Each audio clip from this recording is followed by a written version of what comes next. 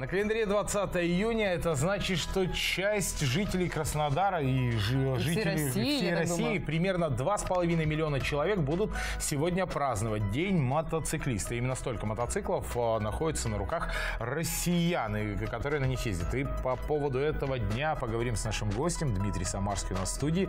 Мотоциклист. Дим, доброе утро. Доброе утро, очень рада видеть. Ну, давай, наверное, с самого главного вопроса. Мотоцикл для тебя что? Образ жизни, мода, средства передвижения, с- борьба с пробками.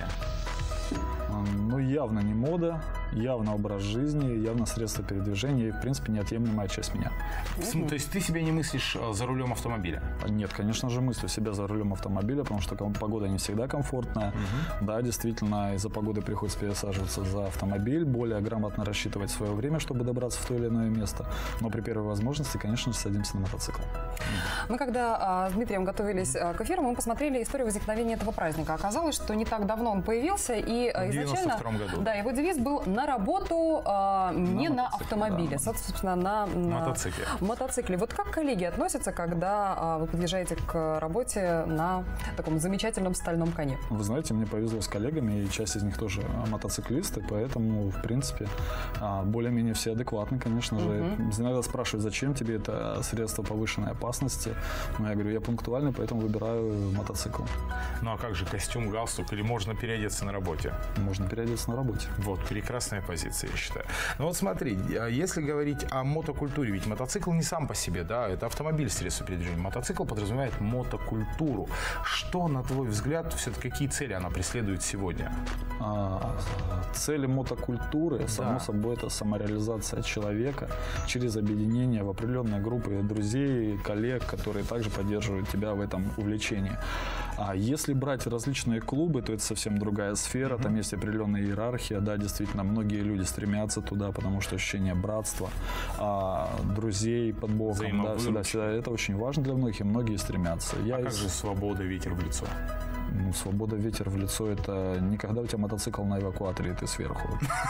Ты можешь спокойно передвигаться, и будет свобода и ветер в лицо, но когда ты чувствуешь, что с тобой единомышленники, братья по клубу, это, конечно, для многих а, большой стимул стать мотоциклистом. Вот, кстати, если мы говорим о мотокультуре, соответственно, а, ей можно обучать. Ну, предположим, да? А Если мы говорим о мотомолодежи, вот, допустим, человек хотел бы стать мотоциклистом. Во-первых, куда ему нужно прийти, обратиться, где находить этих, собственно... Братьев по разуму. Братьев по разуму, да. Есть ли такое а, понятие, как а, воспитание мотомолодежи? Смотреть, давайте по этапам, да. То есть в советское время очень импонировало то, что были ДСАФ, и картинги, мотокросс, это было активно.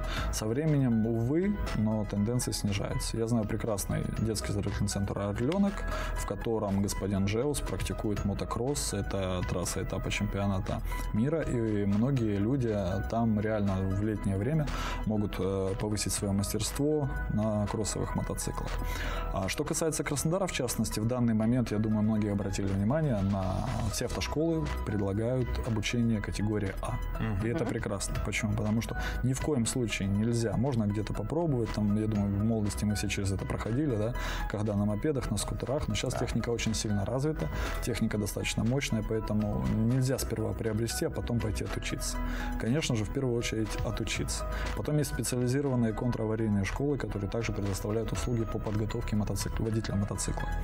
И, само собой, в первую очередь права, потом необходимо пойти в эту мотошколу. Почему? Потому что там можно избежать ошибок и приобрести именно тот мотоцикл, который тебе подходит. Потому что многие, почитая интернет, говорят, я хочу вот этот вот и красный.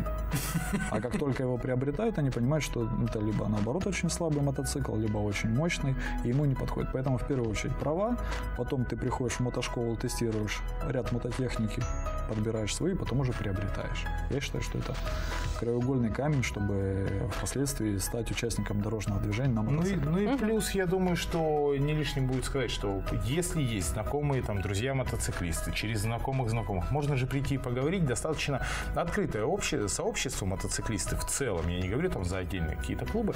То есть подойти и спросить, ребят, очень хочу, посоветуйте, посоветуют. Да. Посоветуют и даже подскажут, где можно взять. Но покататься не дадут. Но пока да, это Кстати, раз у нас момент. а, сегодня такой замечательный праздник, что, собственно, а, пожелаете вот а, мотоциклистам? И будете ли сами как-то сегодня его отмечать? А, думаю, да, однозначно с коллегами мы прокатимся по городу.